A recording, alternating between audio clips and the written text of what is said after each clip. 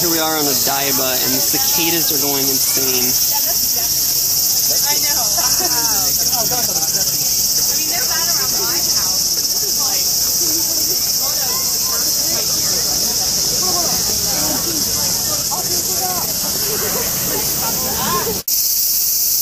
Okay, here we are again, completely surrounded by cicadas.